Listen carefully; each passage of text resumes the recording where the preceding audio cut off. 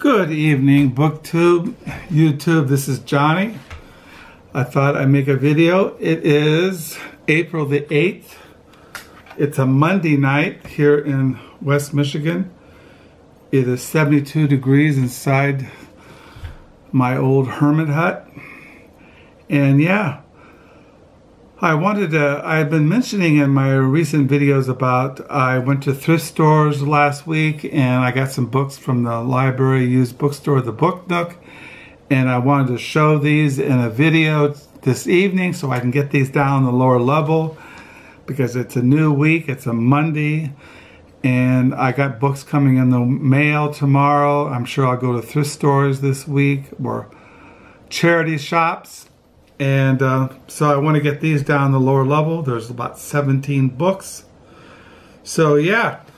So first of all, before I show you the used books I got in the mail uh, this afternoon, uh, these, uh, a couple years ago, the Cistercian Publications was going to republish and do a new translation of Gregor the Great Moral Reflections on the Book of Job. And today I got volume 5 out of a six volume set.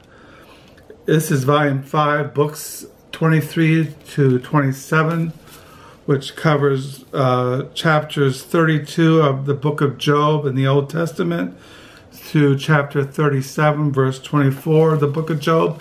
I got this in the mail. Gregor the Great more Reflections, the Book of Job, Volume 5, books 23 to 27, translated by Brian Kerns, SCSO. Uh, I have the other volumes here. You have Volume 4, Greg the Great, More Reflections, the Book of Job, Volume 4, books 17 to 22. And then you have uh, book uh, Gregor the Great, More Reflections, of the Book of Job, Volume 3, books 11 through 16. And then you have Gregor the Great, More Reflections, of the Book of Job, Volume 2, books 6 through 10. And then Gregor the Great, More Reflections of the Book of Job, Volume 1, Preface, and books 1 through 5, translated by Brian Kerns out of Latin.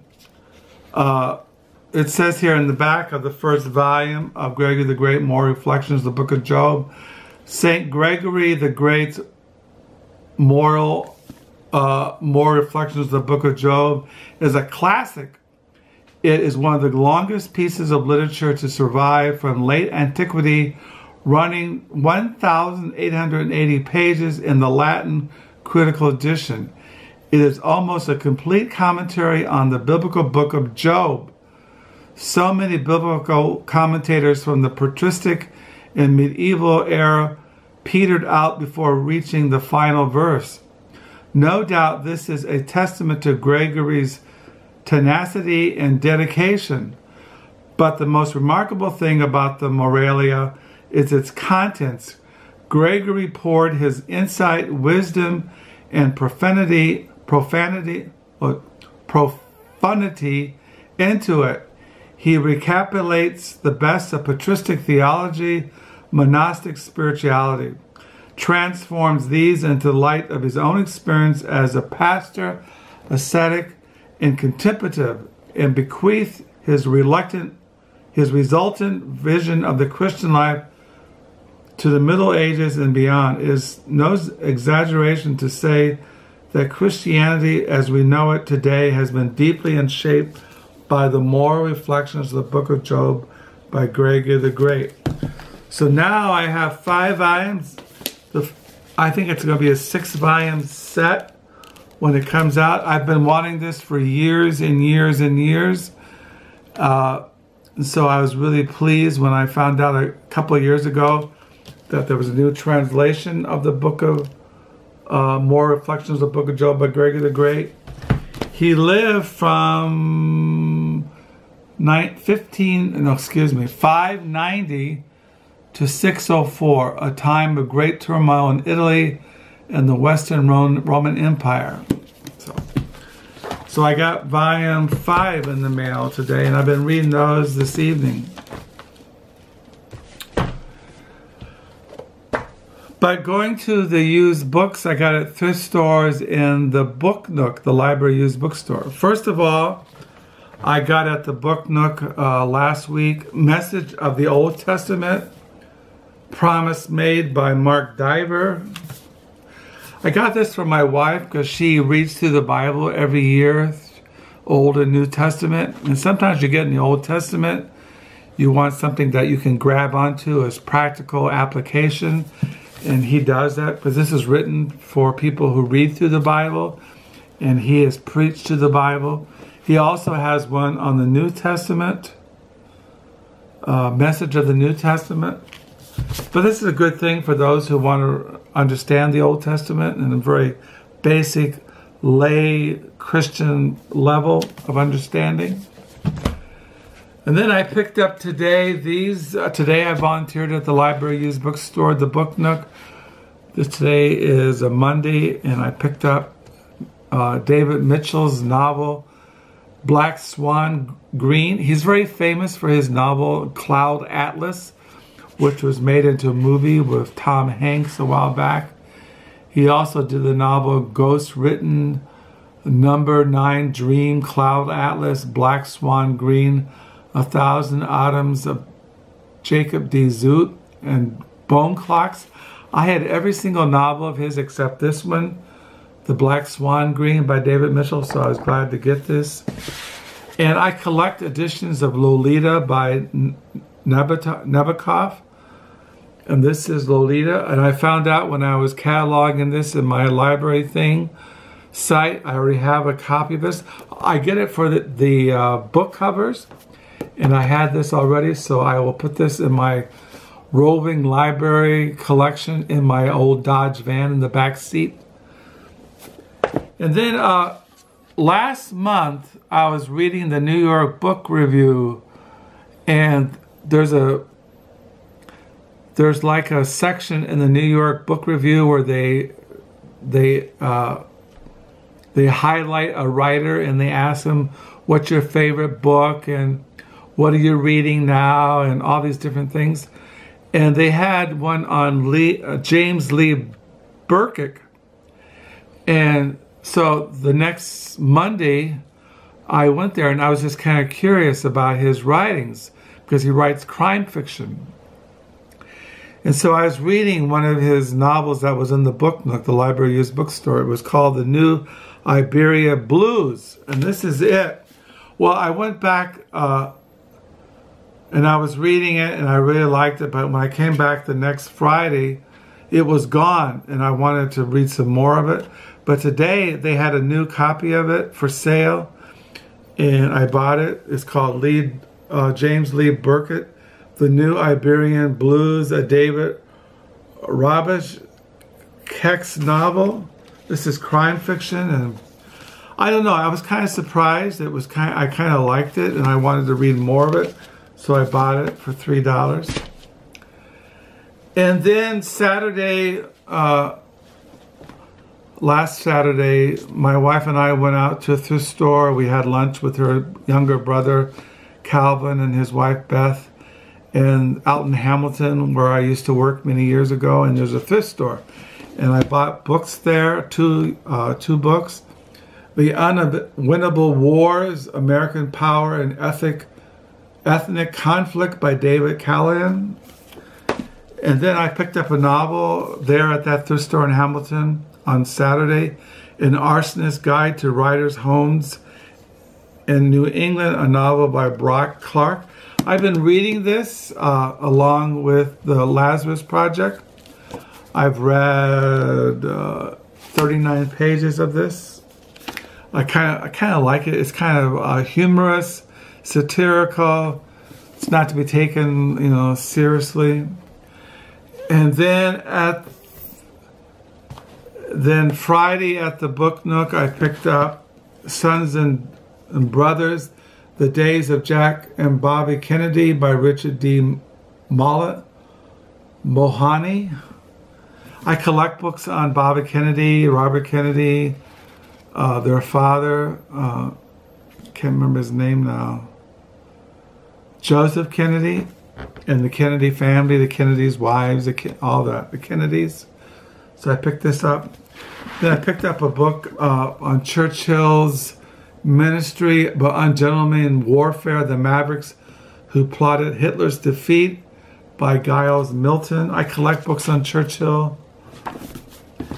And then I picked all these books up last Monday at the Book Nook, the library used bookstore. I got all these books at the Book Nook last Monday.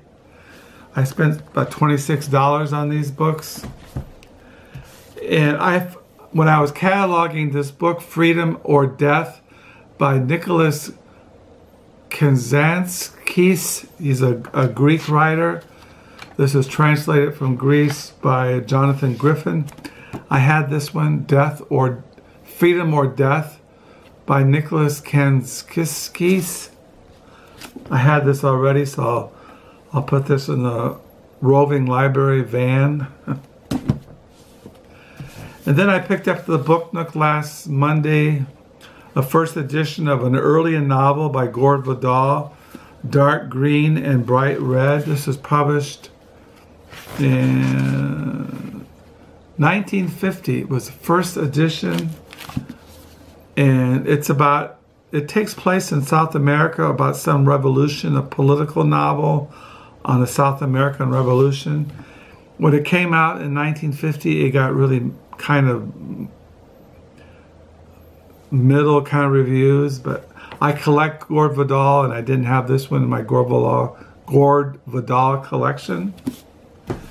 And then I picked up these essays by Gary Soto, The Effects of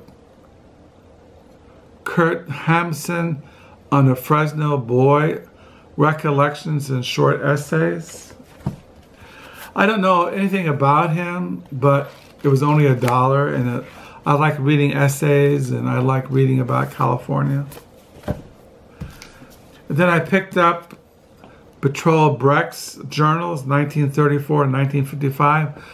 When I was really into theater and playwriting and screenwriters back in my early 20s.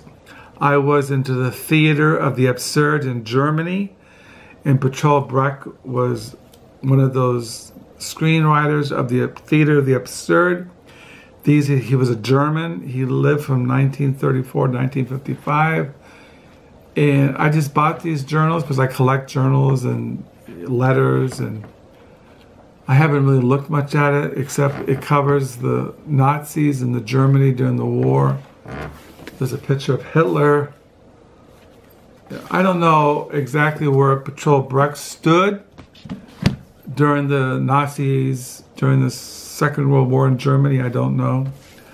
And then I picked up via, via uh, V.S. Naipaul, The Return of Eva Peron and the Killings of Trinidad. These are essays. I collect his writings. This was also a first edition. This came out in 1980. Perfect condition. I collect his writings, essays, short stories, novels, biographies, literary. He's written all kinds of books, but I got this really cheap. I don't know why I can't get it on there. So I got that. I don't know why I can't get on it. Then I picked up, I showed you in my short story video that I collect the story, the novels and short stories of Ann Beattie, Beattie.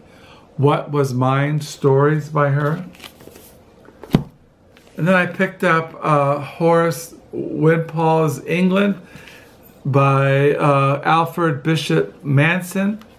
These are his letters. He lived in the 17th century or 18th century. Horace Walpole's England as his letters picture it, edited by Alfred Bishop Mason. This came out in 1930. I I like reading about 17th, 18th century English poets and writers and dramatists and British life, intellectual life, into enlight- English enlightenment. So I got that. I like the. Uh, I have a novel by him. He wrote novels, and so I got this. I collect books on the First World War. This is one with our backs to the wall: Victory and Defeat in 1918 by David Stevenson. And then I picked up uh, Black and Lamb and Gray Falcon by Rebecca West. I just showed you a paperback novel by Rebecca West. This is The Black and Lamb and Gray Falcon, A Journey Through Yugoslavia. It's nonfiction. This was first published in 1940, before the Second World War. I had this in an old two volume old paperback, and then I saw this hardback one edition, one volume edition and I picked it up for seven dollars. It has photos in there. and It's a very famous work about by Rebecca West, and uh, so I, I, picked it up for seven dollars, and it's in perfect condition. so yeah, I got the Black Lamb and Gray Falcon by Rebecca West, published in 1940. I got a book on the First World War with our backs to the wall, Victory and Defeat in 1918 by David Stevenson. I got a book on uh, England in the 18th century by the letters of Horace Walpole. I got short stories by Ann Beattie, essays by V.S. Naipaul, The Return of Eva Peron, which was he was a South American or she was a South American dictator. The journals of the German screenwriter, dramatist Bertolt Brecht, Theater of the Absurd, journals from 1934 to 1955. I picked up these recollections and short essays by Gary Soto. Uh, I had this in our library, Freedom or Death by the Greek, famous Greek writer. He wrote Zorba the Greek, which made into a movie back in the 60s, I think. Nicholas Kazantzis. I picked up The Arsonist Guide to Writers' Homes in New England by Brock, a novel by Brock Clarke. I've been reading this. It's kind of funny, kind of humorous, kind of sad. But I've been reading that. Monday Reads. Picked up The Un Unwinnable Wars, American Power and Ethnic Conflict by David Callahan.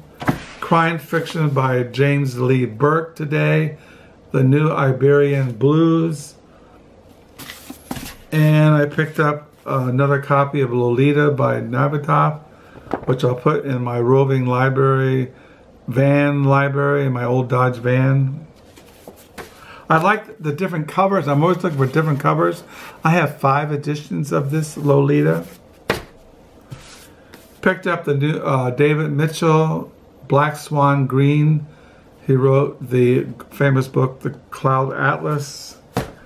And then I bought this book on the uh, the Bible, the Old Testament, Message of the Old Testament, Promise Made by Mark Dever. A novel by Gore Vidal, dark green, bright red, one of his earlier novels. Churchill's Mystery of Under Ungentle Warfare, Warfare the Mavericks Who Plotted Hitler's Defeat by Giles Milton. Sons and Brothers, The Days of Jack and Bobby Kennedy by Richard D. Mahoney. And I read this morning for at the Book Nook. When I was at the Book Nook, I read first The Saving Righteousness of God, Studies on Paul, Justification, The New Perspective by Michael Bird. And then I start uh, reading some more of James Lee Burke, Burke, The New Iberian Blues. And I got in the mail today the fifth volume of More Reflections on the Book of Job, Volume 5, books, books 30, 23 to 27. So now I have five volumes of the Moral Reflections of the Book of Job, which uh, I've read.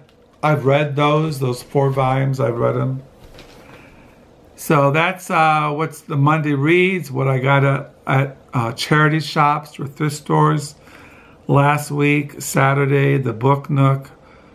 So yeah, that's what's going on. I got books coming. I got two books coming in the mail tomorrow, which I'll show in, in future videos. I haven't gone to thrift stores this week. I'll probably do that this week. Go out searching for used books to add to our library, add to our collection of books. So yeah, it's a Monday night here in West Michigan. It is April the 8th. It is 9.37 at night. And yeah, so I don't know what I'm going to read tonight. I'm probably going to read Greg the Great, More Reflections of the Book of Job, chapter, uh, volume 5, books 23 to 27, which is on chapters 32, verse 1 through chapter 37, 24 of the book of Job in the Old Testament. So yeah, it's, it's getting kind of spring-like here in West Michigan. It was kind of warm today. I saw some daffodils popping, popping up out of the ground in the backyard. But, uh, so yeah, so I hope you're having a good week. And yeah, I thank you for the new subscribers. Thank you for the comments. Hope you're all doing well. And until next time, bye.